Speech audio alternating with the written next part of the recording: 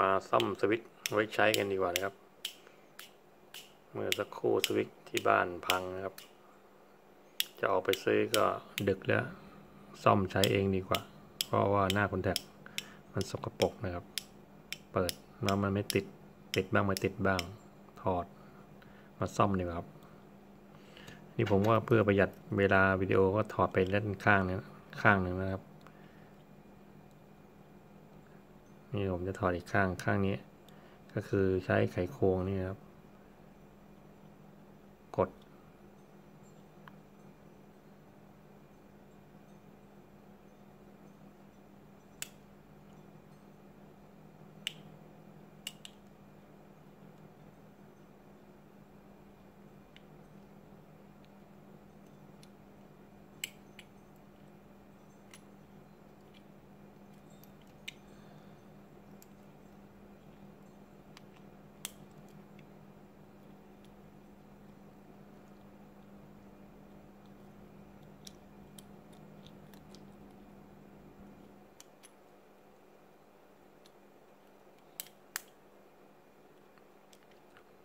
ลาถอดระวังสปริงด้านในตรงนี้จะกระเด็นหายนะครับ ต้องคอยระวังไว้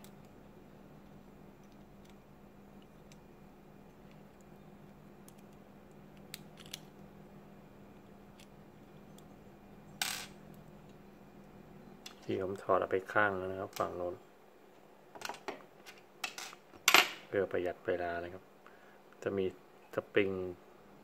เนี่ยตรงกลางนี้ต้องคอยระวังนะครับ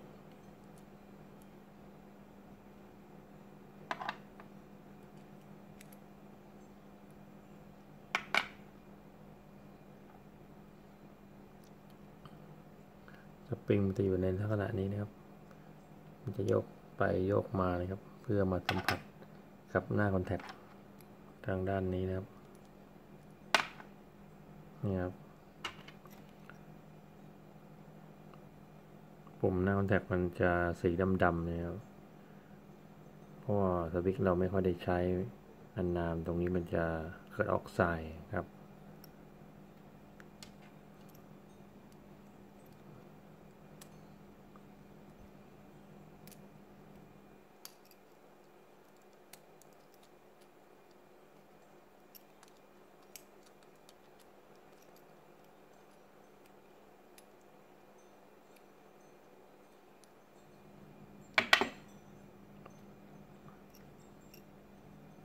นี่เห็นไหมครับ เห็นหน้ามันแถบไหมครับ มันจะดำดำนิดนึง ซึ่งมันก็จะ ตรงนี้ก็จะมีตุ่มๆนั่นนะครับ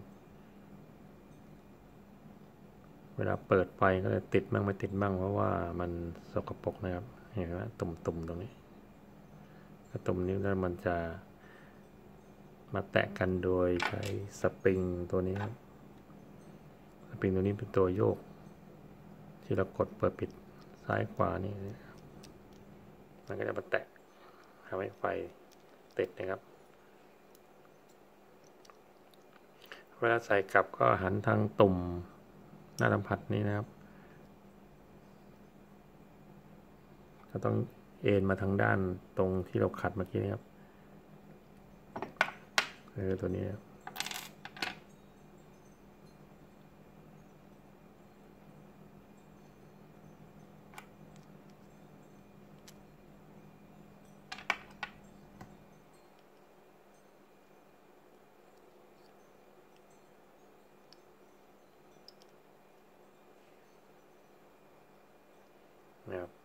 ันทางด้านตุ่มนะครับ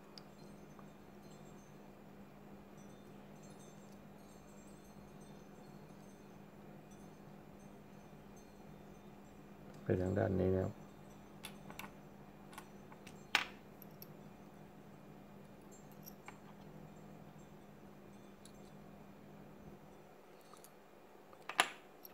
เดี๋ยวเรามาคัดกันก่อนดีกว่าครับ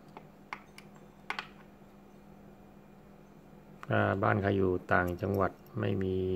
น้ำยาล้างก็จะใช้อะไรขัดๆเอาก็ได้ครับถูๆไว้ตรงตุ่มเนี่ยครับ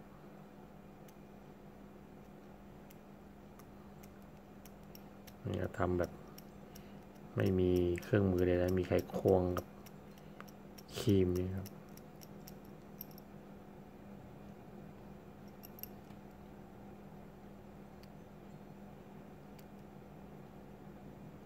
สำหรับ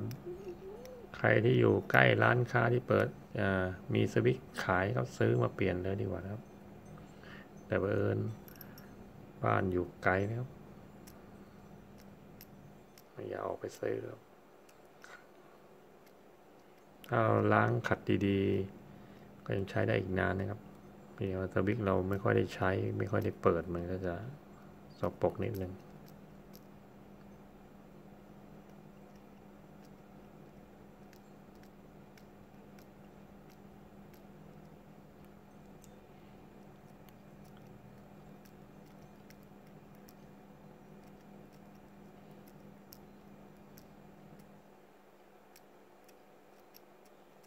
ออกขัดพอเอา ดำๆออกนะครับโอเค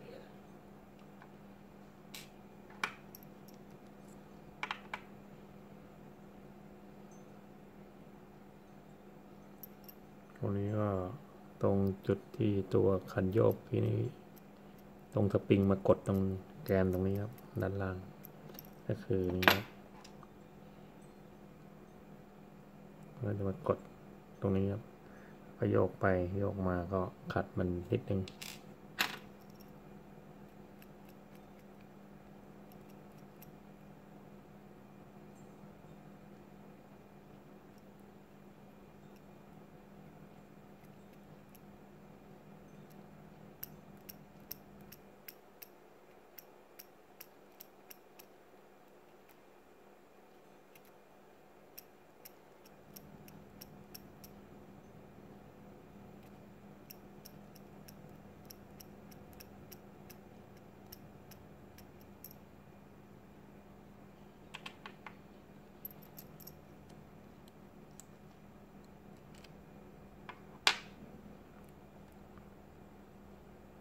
นะฮะ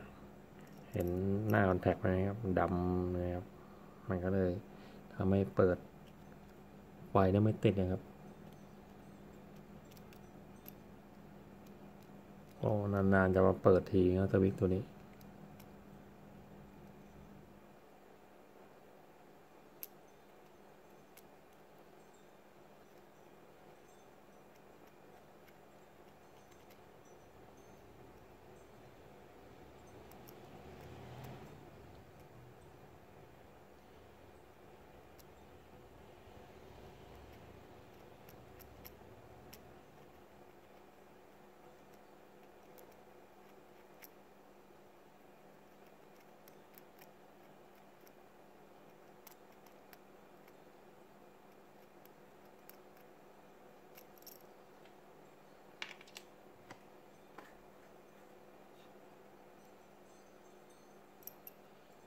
ด้านล่างมาด้วยนะครับ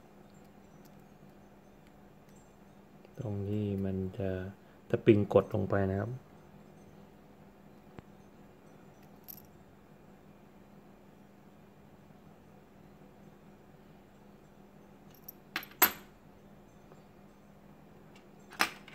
เสร็จแล้วก็ประกอบนะครับ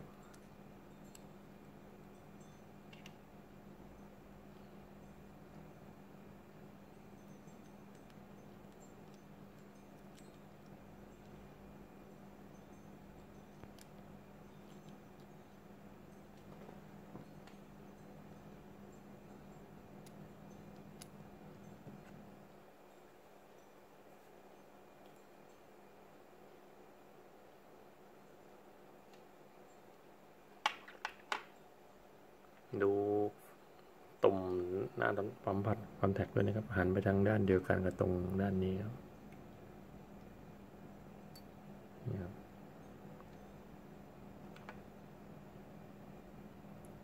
สปริงใส่ตรงกลางนะครับ กด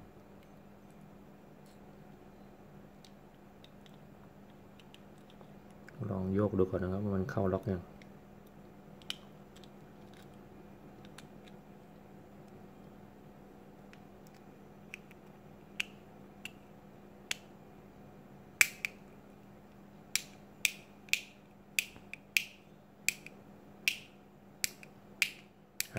เคนะครับก็ใส่ตัวสลักครับเข้าที่เดิม ก็ยังใช้ได้อีกนานนะครับ เพราะว่าคุณล้างหน้าสัมผัสนี่แล้วยาวไกลแล้ว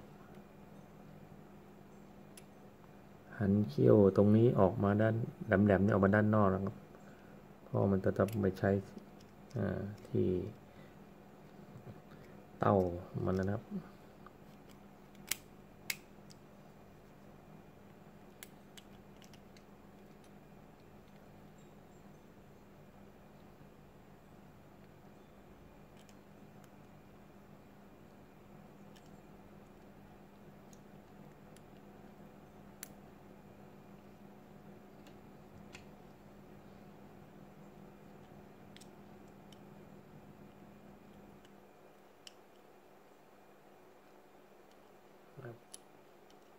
อันตรงนี้ กลุ่มเนี้ยไปด้านนอก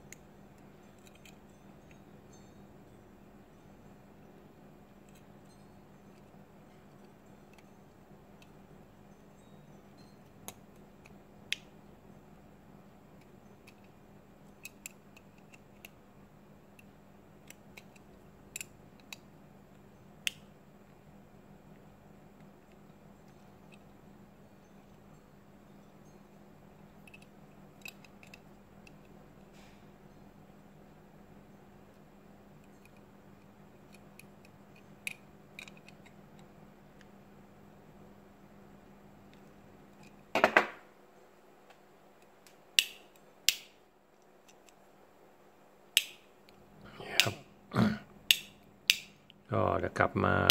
เหมือนเดิมนะครับก็นี่ก็ครับแค่แค่บีบไปตรงนี้ให้มันแน่นนั่นเองครับก็ยังใช้ได้อีกนานนะครับแล้วก็ลองไปซ่อมดูนะครับเผื่อบ้านใครอยู่ต่างจังหวัดไกลๆร้านค้าอยู่ ไกลนะครับกว่าจะเดินทางไปซื้อก็ซ่อมใช้ไปก่อนชั่วคราวก็ได้ครับแล้ววันหลังไปร้านแล้วค่อย ซื้อมาเปลี่ยนนะครับโอเคครับ ลองทำดูครับ